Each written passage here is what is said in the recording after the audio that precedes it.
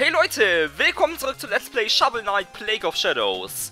Im letzten Part haben wir das Level von King Knight abgeschlossen, waren dann im Dorf unterwegs und haben uns dort weitere Upgrades geholt, haben dann noch beim Apfelstreich vorbeigeschaut und auch bei diesem Bonuslevel hier. Also einiges haben wir beim letzten Mal gemacht und heute soll es weitergehen mit dem nächsten Hauptlevel, nämlich dem Level von Spectre Knight, der Lichhof und da legen wir am besten auch gleich mal los. Für die Wissenschaft! Yay, sehr schön.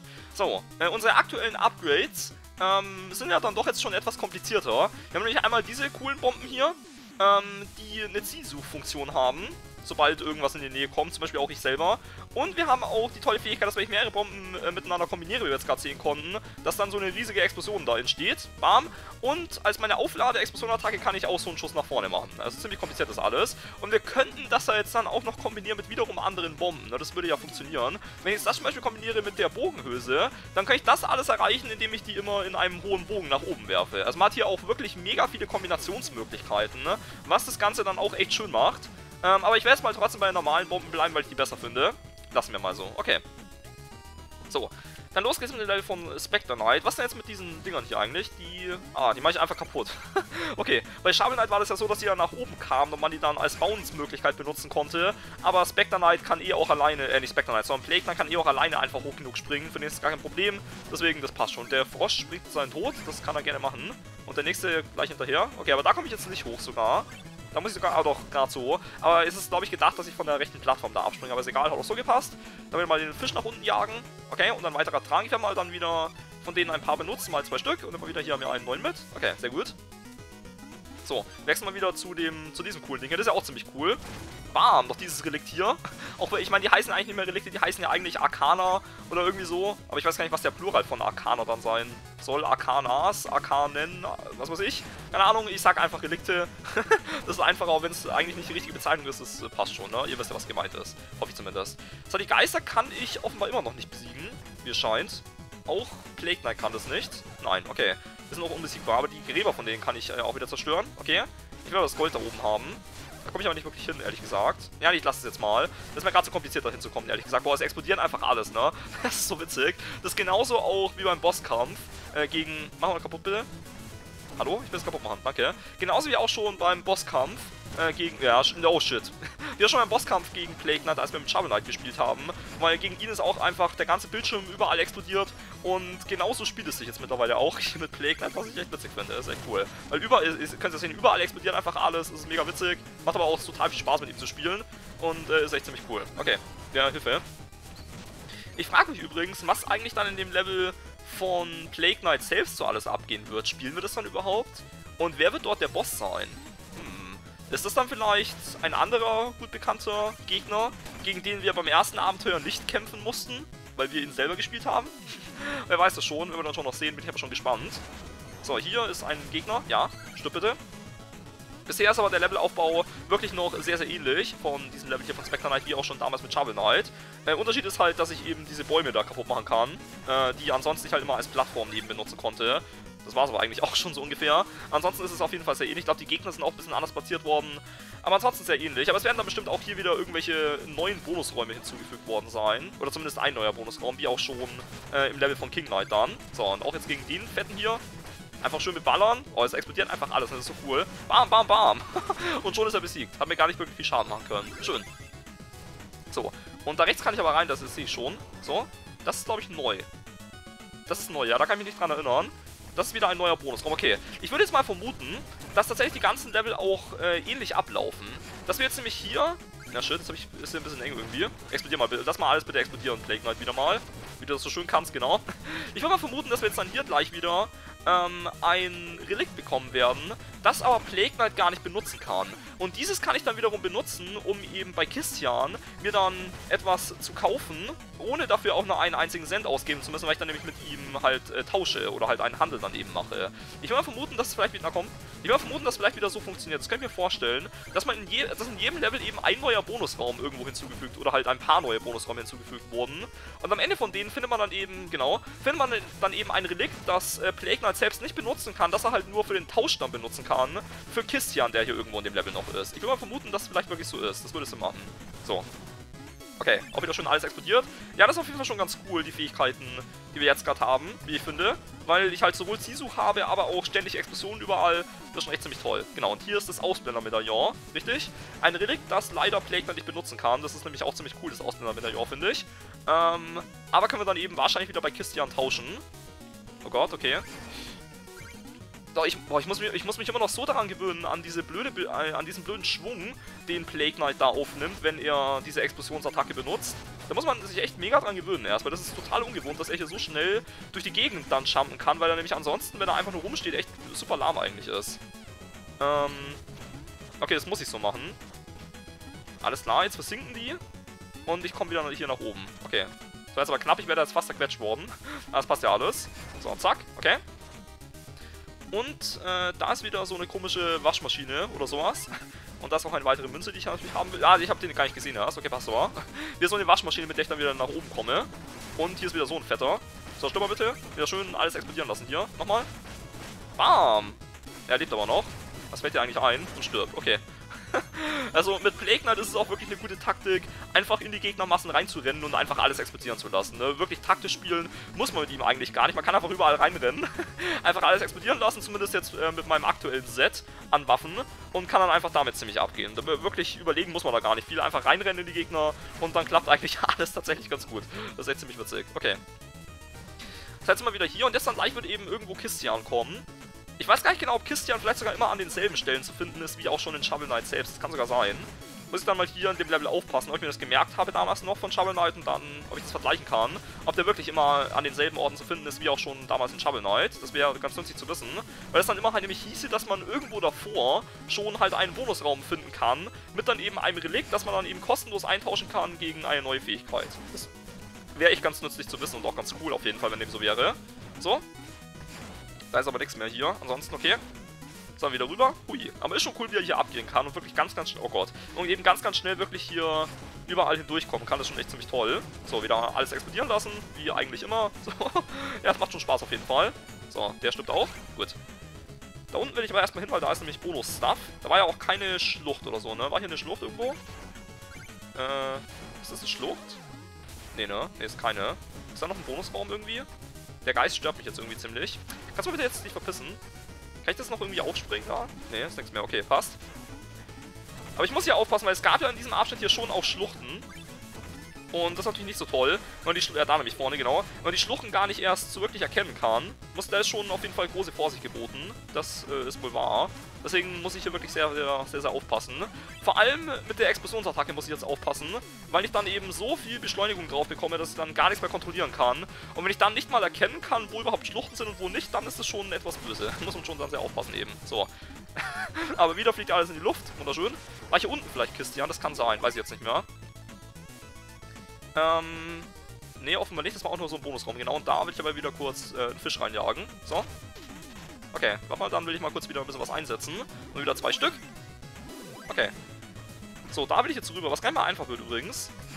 Ähm, ich meine, Shovel Knight konnte es, konnte es eben schaffen, indem er auf den Dingern hier herumbounced, aber ich muss das anders schaffen.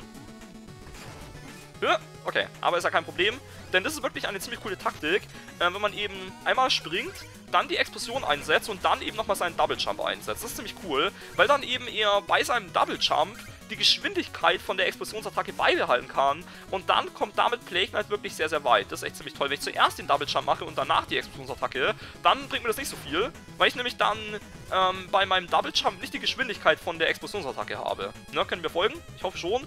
Und deswegen kann er damit wirklich ziemlich schnell äh, abgehen und überall hinkommen. Das ist echt ganz toll. So. Und äh, hier ist sogar noch mehr von dem Zeug. Okay, ich, ma ich mach's sogar mal auf das Maximum einfach, würde ich sagen. Ja, nochmal. Okay, das ist ja das Maximum, weil mehr als äh, 10 Leben insgesamt geht er nicht, wie wir schon wissen. Deswegen das ist eigentlich ganz gut, würde ich sagen. So, dann darüber. Genau, so meine ich es nämlich. Erst springen, dann Explosionsattacke und dann Double Jump. Das ist echt cool. So, jetzt muss ich aber sehr aufpassen hier. Das ist nämlich fies. Dieser Raum hier. Oh Gott, ey. Der ist sogar richtig... Ach du Scheiße, der ist richtig fies. Ähm, warum habe ich hier nicht... Wo bin ich? Äh, wo bin ich denn eigentlich? Warum habe ich, hab ich eigentlich den Geist gerade eben nicht getroffen? Keine Ahnung. Okay.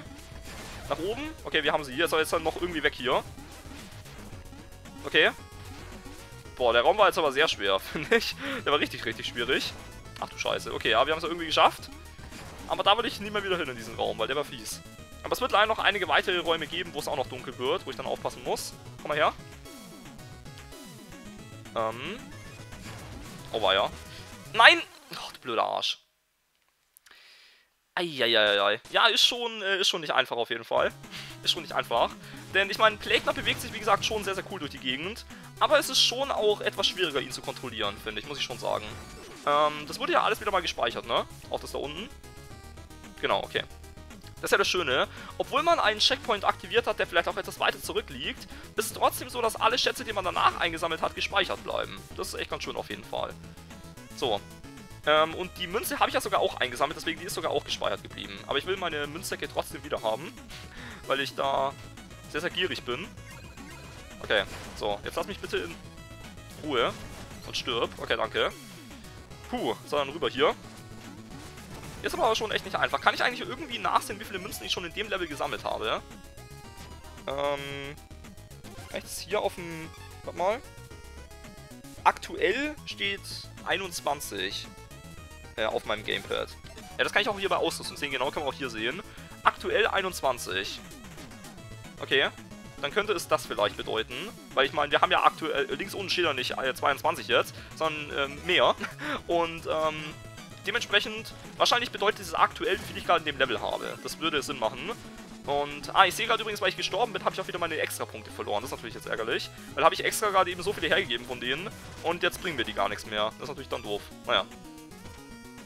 Hier kommt auch gleich wieder ein Gegner. Ja, schon nicht einfach. Okay, aber ich habe ihn schnell besiegen können, das ist ganz gut. Und da ist eine weitere Münze, die ich meinen eigenen will. Okay, sehr gut. Also arg viele Münzen fehlen dann auch schon in dem Level gar nicht mehr. Wir sind ja auch schon dann doch jetzt etwas eher am Ende, würde ich sagen.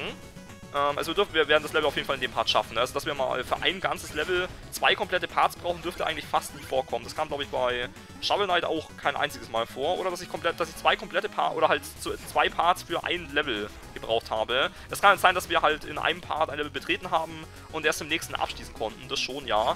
Aber dass wir halt am Anfang eines Parts schon reingegangen sind und dann den kompletten Part gebraucht haben und dann trotzdem nicht das Level abschließen konnten, kam glaube ich nie vor, ne? Ich denke mal auch hier nicht. Das, äh, wir dürfen schon immer pro Part mindestens ein Level schaffen, plus noch irgendeinen anderen Bonus-Stuff oder so. Ist hier unten eine? Wenn ich den, den ganz nach unten bewege? Nee, okay. So, ich muss ja den wieder nach links bringen. Den Kollegen da, genau. Für die andere, na wo ist er? Äh, hier. Ist aber irgendwie schwierig, den zu bewegen, okay. Für die andere Plattform, wo ich den dann gleich brauche. Okay, sehr schön. Und dann mit dir nach unten. Der Frosch ist, Frosch ist auch schon besiegt. Wieso ist der besiegt? Habe ich den gerade schon irgendwie... Wahrscheinlich habe ich den gerade schon durch irgendeine Explosion besiegt oder so. Keine Ahnung. Weiß nicht. Aber soll mir recht sein. Ja, hier landen... Genau, hier landet man in der Grube von denen. Hier, das ist auch gleich geblieben. Das ist ziemlich fies auf jeden Fall. Da kann man ja wirklich kaum ausweichen. So, genau, und Shovel Knight äh, hat es nämlich sehr viel schwieriger gehabt, weil er kam nämlich hier nach links zu diesem Bonus ähm, nur hin, indem er von einem Gegner weggejumpt ist, ne? Aber Plague Knight kommt da ganz einfach so hin. das ist ziemlich cool. Und hier war nämlich Christian, ich erinnere mich gerade, genau, richtig? Und der ist auch hier am selben Ort, okay. Und wir durften jetzt dann gleich gratis wieder ein neues Upgrade bekommen, stimmt das? So, er sagt dasselbe. Ja, ich möchte tauschen, genau. Für Lau kriegen wir das. Du füllst deine Energie auf, indem du Gegner angreifst. Wow, das ist ja mega episch. Das will ich unbedingt haben. Yay! Okay, Vampir. Ähm, du füllst deine Energie auf, indem du Gegner angreifst, ja? Das ist ja schön. Wie funktioniert das jetzt? Hält es dann für eine bestimmte Zeit lang an? Wir testen es gleich mal aus. Okay. Und ich kann mich heilen, ja? Das ist ja cool. Das hält einfach eine bestimmte Zeit lang an. Und zwar bis die Leiste jetzt dann leicht nämlich wieder gefüllt ist. Dann hört es wieder auf. Das ist ja voll cool. Okay, jetzt habe ich eine super einfache Möglichkeit gefunden, um mich zu heilen. Das ist ja mega episch. Bam. ja, also hier die Relikte oder die Arkana, wie auch immer, ähm, die Plague Knight hier einsetzen kann, sind echt mega cool. Also damit kann, kann er wirklich sehr, sehr abgehen. Muss ich ja wirklich mal zugeben. Okay.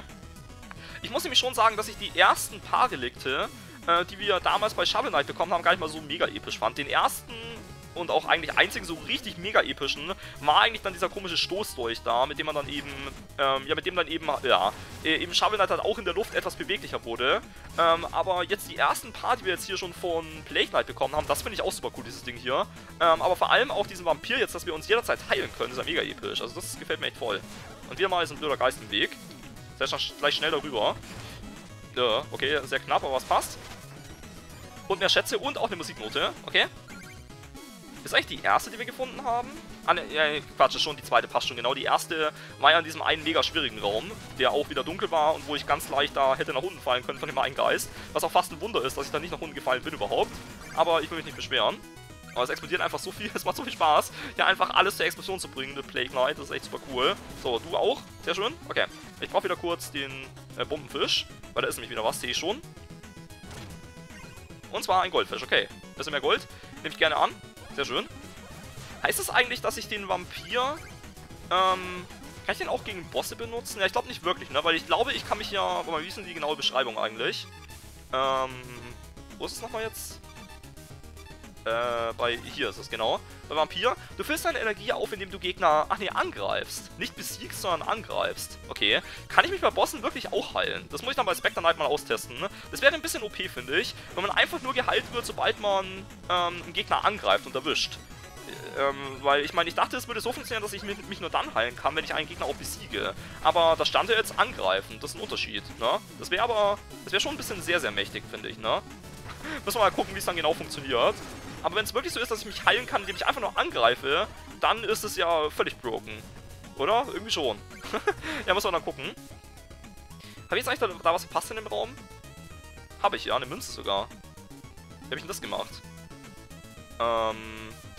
Shit. Kommt auch nicht mehr zurück. Ich muss eigentlich fast sterben. Weil ich will nämlich die Münze jetzt schon einsammeln und nicht nochmal neu starten müssen, das Level. Äh, sehr blöd. Ja, ich bringe mich mal um. Ähm, ja stimmt, mir fällt auch gerade ein, wie das geht, genau. Im vorherigen Raum nämlich einfach da halt oben rumgehen, richtig. Das haben wir nämlich damals bei Shovel Knight auch schon gemacht, aber da war da wirklich äh, nicht wirklich eine tolle Belohnung. Da waren halt einfach nur ein bisschen Gold an der Stelle. Aber hier ist eine tolle Belohnung an der Stelle, nämlich eine weitere Chiffrenmünze. Okay, na gut. Aber wir können ja wieder relativ schnell durchwaschen durch das Level. Ähm, wie gesagt, weil halt die ganzen Schätze zum Glück gespeichert bleiben. So, hier nämlich nach oben will ich. Und da dürfte ich jetzt hinkommen. Genau, okay. So, ja, wichtig auf jeden Fall. Dass wir das noch mitnehmen, weil wenn es einfach nur das Gold gewesen wäre, wäre es mir egal gewesen. Das ist ja nicht viel. Aber die Chiffrenmünze zählt natürlich dazu zu 100%. Und deswegen will ich die natürlich auch alle mitnehmen. Weil ich meine, ich denke mal, ähm, dass ich auch alle brauche, um dann im Endeffekt auch alle Upgrades zu erhalten. Ich werde dann bestimmt, wenn ich alle gesammelt habe, am Ende nochmal so ein Mega-Ultra-Upgrade erhalten. Und ich will natürlich alle Upgrades auch haben. Und dazu zählen dann natürlich auch, um alle Upgrades erhalten zu können, die Chiffrenmünzen logischerweise dazu. Und auch die Münzsäcke will ich natürlich wieder mitnehmen dann gleich. Aber erstmal bringen wir dich wieder mal zur Explosion, Kollege. So. Und schon getötet. Das ging wieder einfach. So, okay. Äh, da links waren wir auch schon drin, ne? Da ist nichts mehr. Genau, okay. So, dann dürfen wir das Level auch schon gleich abgeschlossen haben, aber dauert doch ziemlich lange. Also irgendwie habe ich das Gefühl, dass wir mit Plague Knight aber etwas langsamer spielen als mit Shovel Knight. Weil eben sein, ja, ich weiß nicht genau, äh, halt, wenn er sich am Boden entlang bewegt, ist er halt ein bisschen langsamer. Er ist in der Luft halt dafür schneller. Ich weiß auch nicht genau, aber irgendwie kommt es mir vor, als würden wir in den Leveln länger sein als mit Shovel Knight, obwohl wir die Level ja sogar schon kennen. Also dürfte es eigentlich, müsste man meinen, schneller gehen, aber irgendwie tut es nicht. Es liegt vielleicht auch daran, dass er halt nur Fernattacken hat. Mit Shovel Knight konnte ich halt einfach in einen Gegner reinrennen und ihn dann dadurch halt äh, schön besiegen. Ähm, aber bei Plague Knight muss ich halt wirklich immer meine, äh, meine Fernattacken machen. Und das dauert dann wahrscheinlich dadurch auch ein bisschen länger. Das könnte, glaube ich, ein Grund dafür sein. Gehen wir wieder zwei her, weil da ist wieder ein Dings gewesen, genau. Okay. So, hier jetzt vorsichtig sein. Wie viel haben wir eigentlich mittlerweile jetzt schon mitgenommen? Wie viele Münzen? 28. Zwei kommen noch. Hoffe ich zumindest. da ist eine. Und hoffentlich danach noch eine weitere. Das wäre schön. Erstmal die Kollegen da töten. Einfach irgendwo hinwerfen, ich werde schon treffen. Genau, die haben ja auch Zielsuchfunktion. Das ist ja wirklich wunderbar. So, und dann hier rüber. So, ich hoffe, es kommt, wie gesagt, noch eine. Ja, der Geist ist wieder doof, weil der ist wieder sehr, sehr, sehr im Weg. Ich warte mal kurz. So. Geh weg, okay. Und dann gleich da rüber. Wo bin ich? In der Schlucht bin ich. Ja. Wie gesagt, das ist schon fies. Das ist schon sehr fies. Wenn man sich das so schnell voranbewegt, mit Plague, mit seiner Explosion und dann da überall hier Schluchten sind. Das ist echt, das ist super, super fies, da herauszufinden, wo man eigentlich gerade ist und dann irgendwie zu überleben. Das ist echt überhaupt nicht einfach. So, okay. Jetzt bin ich wieder hier. Hier ist ja überall fester Boden. Und dann vor allem dieser eine Geist, der da auch noch im Weg ist. Das ist schon echt sehr, sehr böse.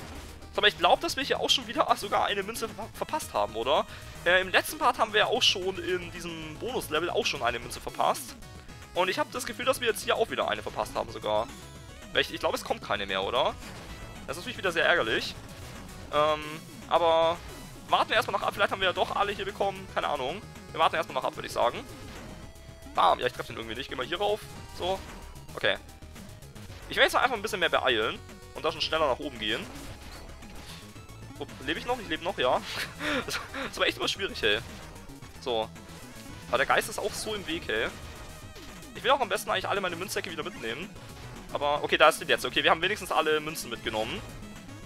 Ich will den Sack eigentlich haben, weil das ist ziemlich viel, ziemlich viel Gold. Das will ich eigentlich ganz gerne schon mitnehmen. Okay, passt aber. Und jetzt dann schnell rüber. Da bin ich ja safe. Da ist ja keine Schlucht mehr. Genau, okay. Puh, puh. so, alles mitgenommen, alles geschafft. Perfekt. So, gib mal nochmal äh, zwei so Tränke her. So. Aber ich werde dann auf jeden Fall, ich kriege auch wieder neun, sehr schön. Ich werde auf jeden Fall dann gleich auch den Vampir mal gegen Spectre Knight austesten. Ich bin sehr gespannt.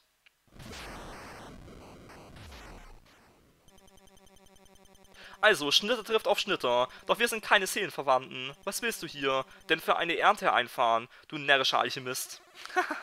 Wenn du mich nur unter dieser Maske gehen sehen könntest. Oh, spukiger Geist, hui. Hihaha. Eine Maske, allerdings, wie es sich für einen hohlen, aufgeblasenen Narren geziemt. Du versteckst dich nur vor dir selbst. Hm.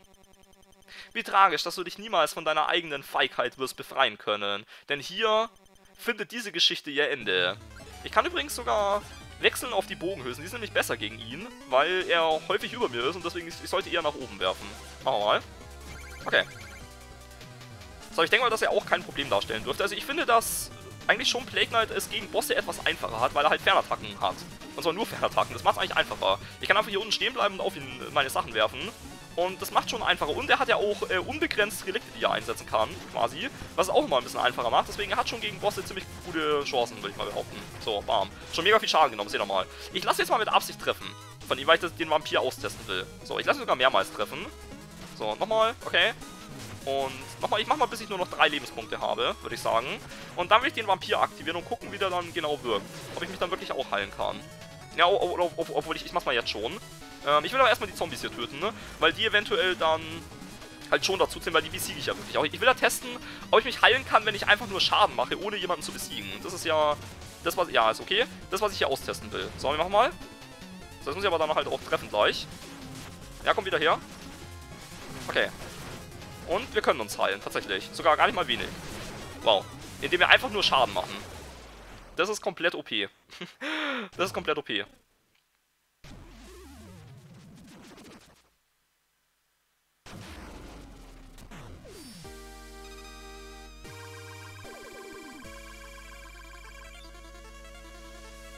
Yay, sehr schön. Ja, dann hat Plague Knight doch jetzt schon richtig, richtig mega coole Fähigkeiten, finde ich. Auf jeden Fall.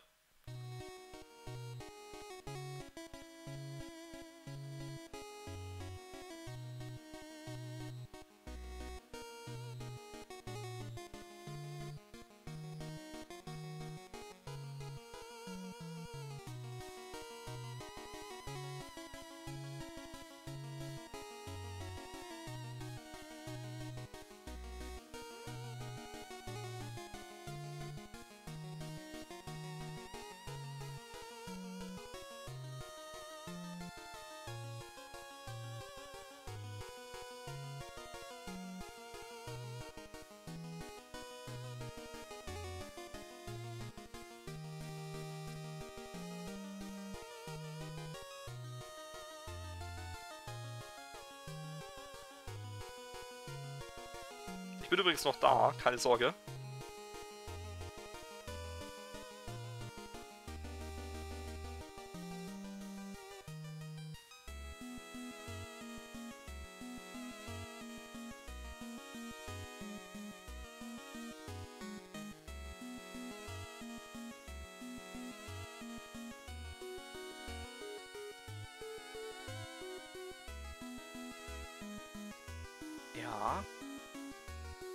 Glaube, wir müssen uns den komplett anschauen wegen einer Heldentat.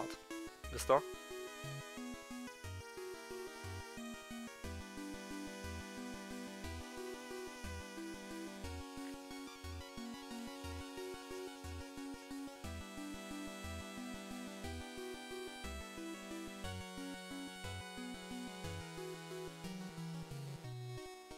Yay! Dirty Dancing! Okay, jetzt darf ich... Jetzt wiederholt sich offenbar. Jetzt darf ich was drücken und zu ihr kommen. Ähm... Mona, was, was machst du denn hier? Ähm, wie lange hast du mich schon beobachtet? Und du hast meine Drehmomentaufzüge unbeaufsichtigt benutzt? Ich, ich bin nur kurz vorbeigekommen. Ich habe doch kaum was gesehen. Komm schon, na? Ich bin doch nicht irgendein Perverser oder so. Nun, dann ist jetzt wohl alles raus. Ja, ich tanze hier unten. Ständig. Allein. Wahnsinn. Allein? das hört sich aber nicht sehr spaßig an. Ach egal, ist ja nicht so, als würden die Leute Schlange stehen, um mitzumachen. Ich habe mich an die Einsamkeit gewöhnt. Ich wünschte, ich könnte dir helfen, aber, ähm, du weißt ja, zwei linke Füße und so. Ja, halb so wild, egal. Spectre Knight hat den Geist aufgegeben.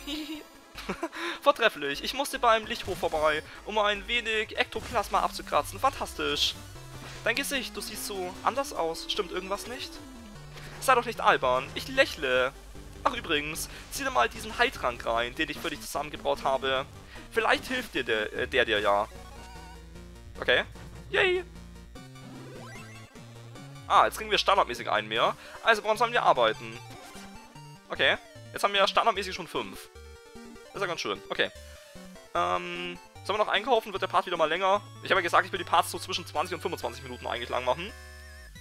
Machen wir halt mal wieder länger, was soll's. So, ins Labor dürfen wir ja gehen, weil wir haben ja mehr als 60. Ja. Ja, das wird reichen. Okay, dann schauen wir mal, ob meine Hypothesen so richtig waren.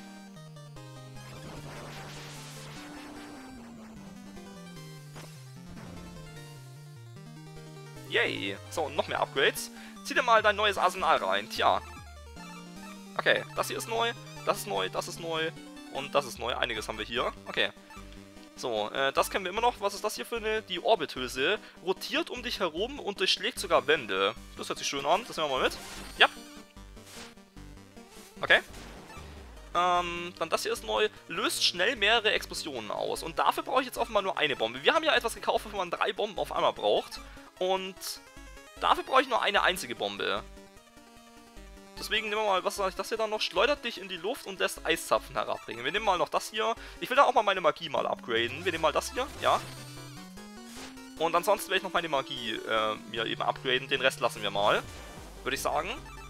Ja, passt. Okay. So, wir nehmen dann aber mal kurz die Orbithülse und testen die mal kurz aus. Ach, das ist ja interessant. Geht es einfach um mich herum. Und, okay. Das ist ja witzig. Aber ich kann immer noch dasselbe bewirken, dass nämlich, wenn ich mehrere miteinander äh, hier zusammenbringe, dass dann so eine Explosion kommt. Ja, so, eine Schutz, so ein Schutzschild kann ich mir da aufbauen, das ist ganz witzig. Okay. Und dann haben wir eben hier noch das Streupulver. Da brauche ich jetzt nur eine einzige Bombe dafür. Oder so. Ah ja, so nämlich, genau.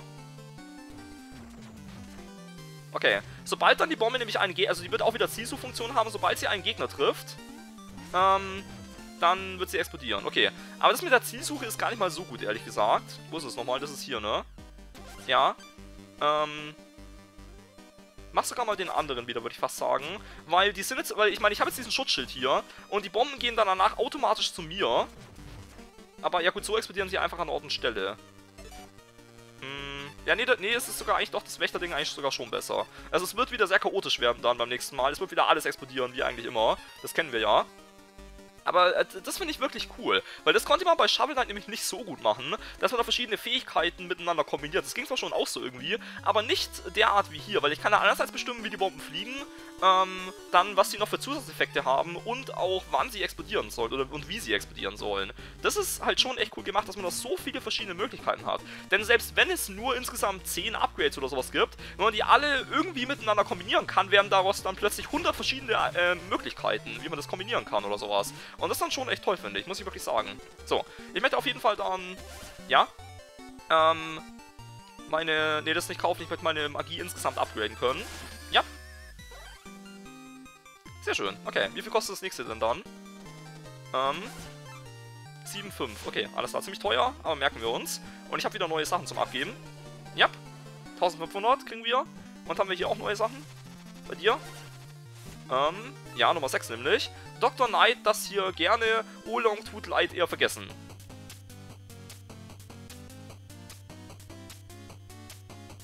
Ja, kennen wir aber auch schon, den Soundtrack.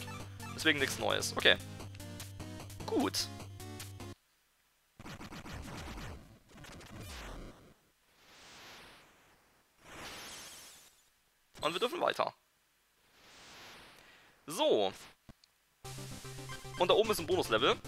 Aber das machen wir erstmal nächstes Mal. Ich würde nämlich erstmal sagen, Leute, das war's hier für diesen Part von Let's Play Shovel Knight hier bei Plague of Shadows. Beim nächsten Mal geht's dann eben hier weiter mit äh, dem zweiten Hauptgebiet quasi, wenn man so will. Mit dann dem Exploratorium. Das wird interessant werden. Da steht nämlich gar kein Boss dabei. Hier steht ja eben Treasure Knight und äh, hier war Mole Knight. Aber hier steht niemand dabei, weil das ja das Level von Plague Knight selbst ist. Was wird also hier geschehen? Bin ich schon sehr gespannt. Und dann natürlich das Dorf, den Außenposten oder wie der heißt, können wir dann auch besuchen. Äh, dort haben wir da damals für Shovel Knight dann neue Ausrüstung bekommen. Und eventuell werden wir das auch hier, denn wir können ja auch mit Plague Knight neue Ausrüstung irgendwie bekommen, haben wir schon gesehen. Ähm, aber was genau er sich dann da kaufen kann, neue Mäntel oder sowas, ähm, oder neue, ja ich, ich, weiß nicht genau, was er da alles holen kann, keine Ahnung. Wenn wir schon noch sehen, bin ich auf jeden Fall dann wieder einmal schon sehr gespannt drauf und freue mich schon dann auf die nächsten paar Level, die wir beim nächsten Mal spielen werden. Okay. Auf jeden Fall würde ich mich dann noch sehr über einen Daumen hoch, einen Kommentar oder auch ein Abo freuen und hoffentlich werden wir uns dann bei neuen Videos wiedersehen. Gut, also dann Leute, bis zum nächsten Mal. Ciao.